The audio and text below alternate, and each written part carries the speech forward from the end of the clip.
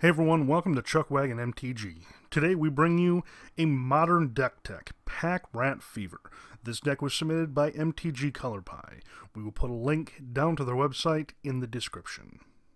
Pack Rat Fever is a black-green modern build. This deck combines some of the black and green graveyard staples, as we've come to know, as well as a few different yet efficient newcomers that make this deck a lot of fun to play.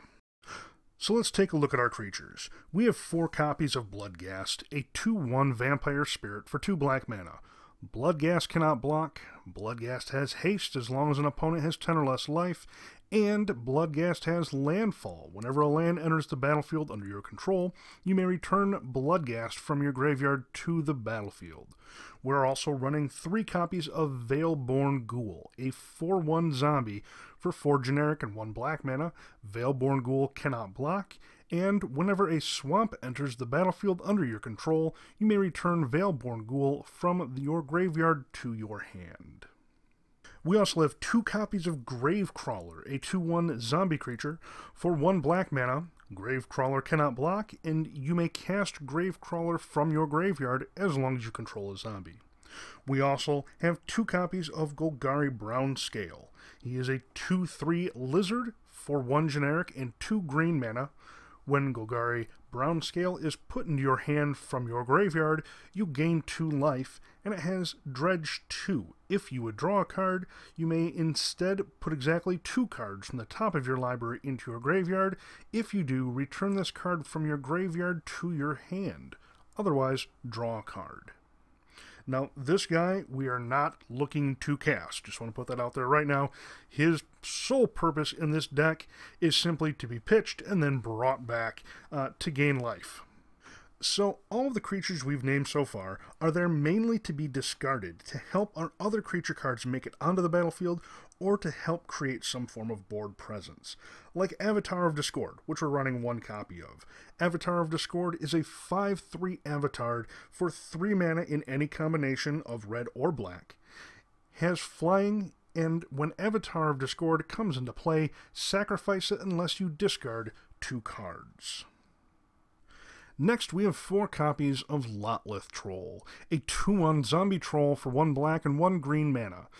Lotleth Troll has trample, discard a card, put a plus 1 plus 1 counter on Lotleth Troll, and pay 1 black mana and regenerate Lotleth Troll.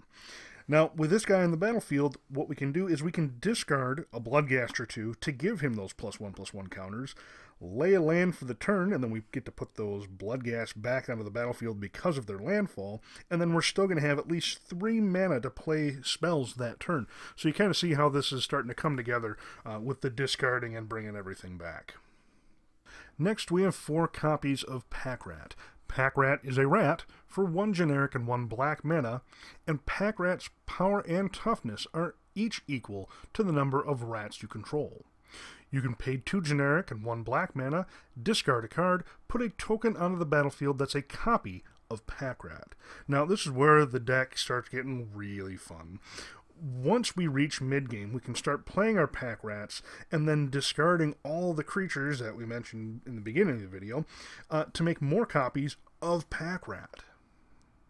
But the fun doesn't stop there. We have three copies of Parallel Lives, an enchantment for three generic and one green that says if an effect would put one or more tokens onto the battlefield under your control, it puts twice that many of those tokens onto the battlefield instead.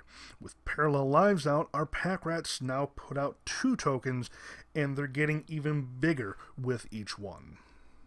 Our last creature, which we're running two copies of, is Disciple of Bolas. Disciple of Bolas is a 2 1 human wizard for 3 generic and 1 black mana.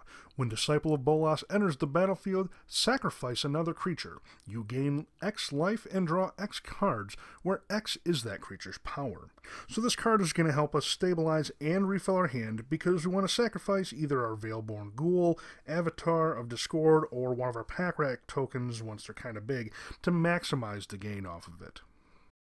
Another card that we're running that works great with Parallel Lives is Worm Harvest. Worm Harvest is a sorcery for 2 generic mana and 3 mana in any combination of black or green, and it says put a 1 1 black and green worm creature token into play for each land card in your graveyard. It has Retrace. You may play this land card from your graveyard by discarding a land card in addition to paying its other costs.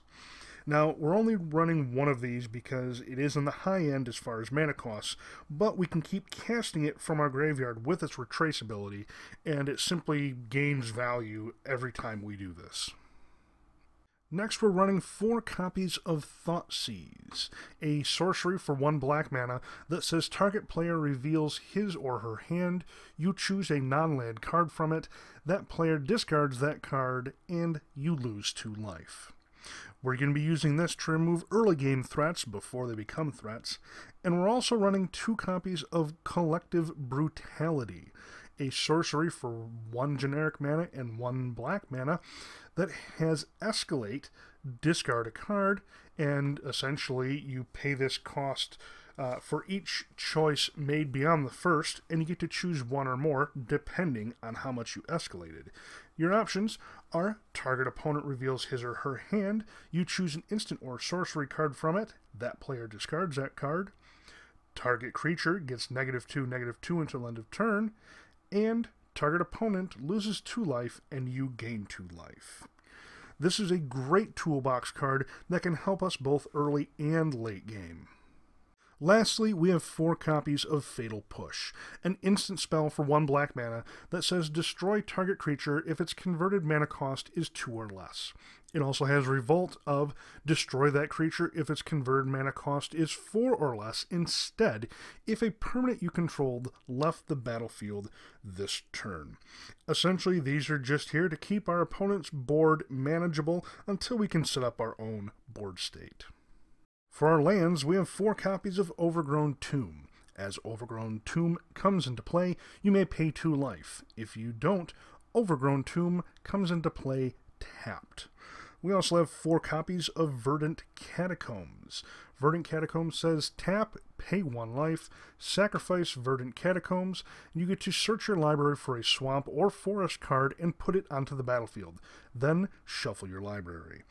These are going to help us trigger revolt on our fatal pushes as well as helping us with our land. We also have three copies of Ghost Quarter. Ghost Quarter says tap and add one generic mana to your mana pool, and it has tap, sacrifice Ghost Quarter, destroy target land. Its controller may search his or her library for a basic land card, put it into play, then shuffle his or her library. Essentially, we have these here to interrupt those decks that rely on a certain mana base, such as any kind of Tron deck or those pesky manlands. Then we also have 10 swamps and 3 forests.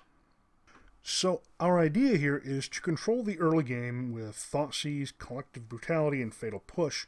Uh, if you can, you can sneak in for a bit of damage with the Bloodghast or the Gravecrawler, but our main focus is keeping their board state small.